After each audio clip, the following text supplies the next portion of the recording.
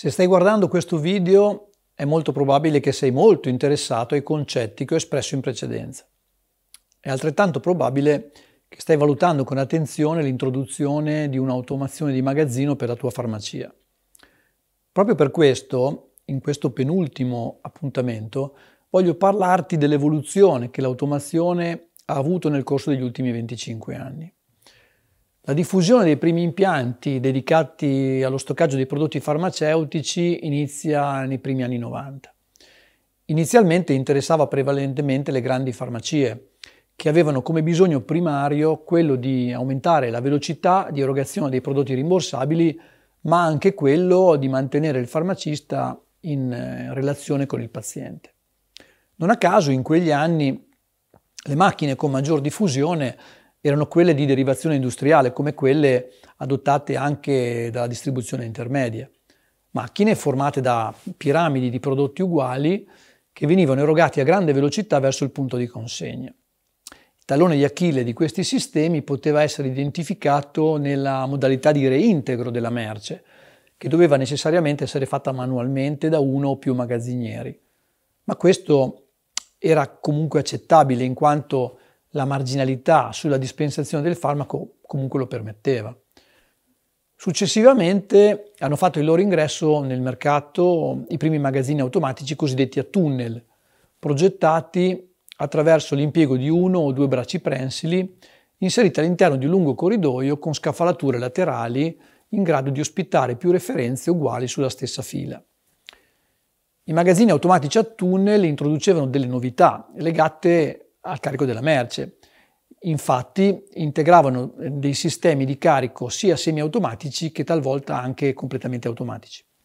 Questi sistemi sostanzialmente eh, sono rimasti invariati fino ai giorni nostri, ma oggi siamo sicuri che possono ancora garantire lo stesso grado di efficienza che avevano 15-20 anni fa?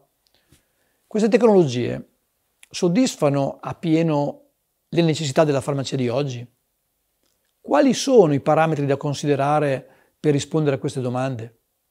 Ti sembrerà strano, ma oggi l'unico parametro principale che ogni automazione di magazzino dovrebbe soddisfare è la capacità di contenimento. La capacità di contenimento rappresenta il numero massimo di confezioni che un magazzino robotizzato può contenere al suo interno.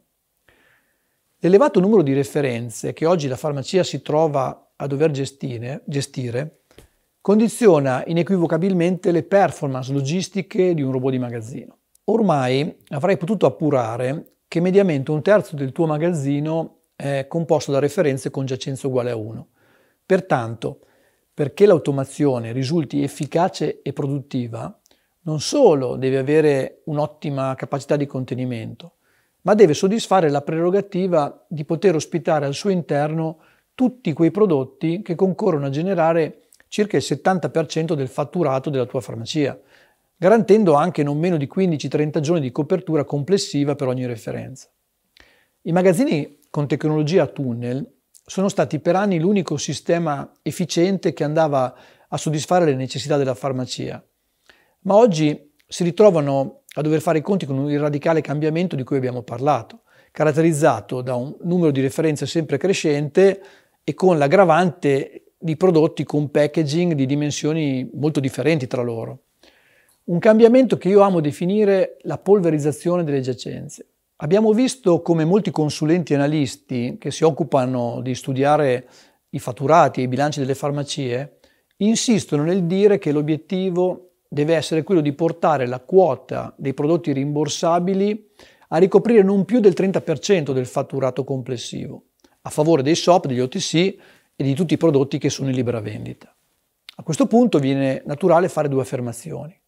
Uno, la necessità di stoccare all'interno del magazzino robotizzato e sottolineo magazzino tutto ciò che per dimensione e peso è al suo interno gestibile e che contestualmente deve contribuire all'aumento dello scontrino medio. Due, che l'automazione di magazzino è la vera luce in fondo al tunnel che può riportare la tua farmacia ad essere un'attività imprenditoriale sostenibile e soprattutto redditizia.